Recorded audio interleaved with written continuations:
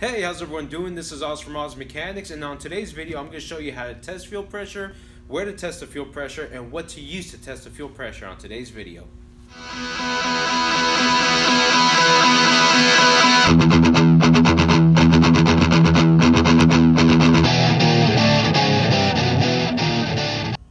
Alright, so how's everyone doing? So right here we have ourselves a 2001 Ford F-150 with the Triton engine, 5.4 liter engine on this.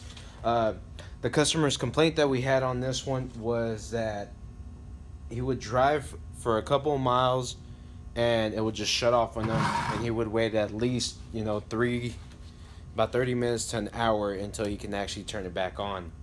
So uh, I brought it over here and as soon as I was giving the gas, I noticed it was stumbling. It was not going any further. So first and foremost, what I wanted to do because this system has a Schrader valve, and that can allow us to check out the fuel pressure. I'm going to show you where the Schrader valve is at, and I can show you uh, how to test the fuel pressure. It's pretty easy. Alright, so the Schrader valve is going to be a test port for the fuel pressure and as you can see right there, pointing at it, right there, that's the Schrader valve. Uh, it basically looks like the one that you have on your tire. Same thing, but it's gonna be on the fuel rail. And that's where we're gonna hook up our test ports to to get the reading for the uh, for the fuel pump. And the reading that we're going to try to look for is going to be so key on engine key running. engine running between 28 to 50 psi key key on engine off between 35 to 45 psi so those are going to be our magic numbers right there and that's what we're going to try to see if we can get. So now we're going to go to our uh, tool. And this is the fuel injection pressure kit so it's fuel pump uh, pressure kit as well.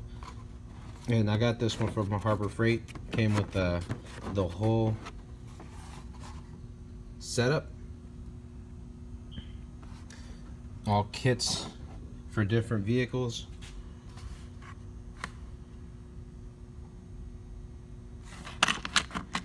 And then we remove this portion we got more connectors. So what we're gonna need, because our vehicle is a Ford, we're looking for the small Schrader valve adapter for a Ford.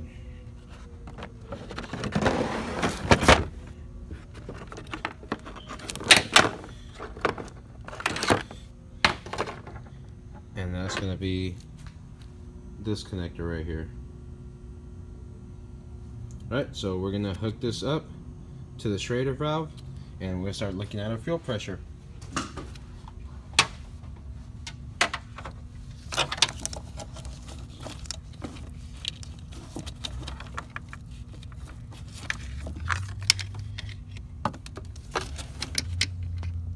Just be careful when you hook this up, you might get fuel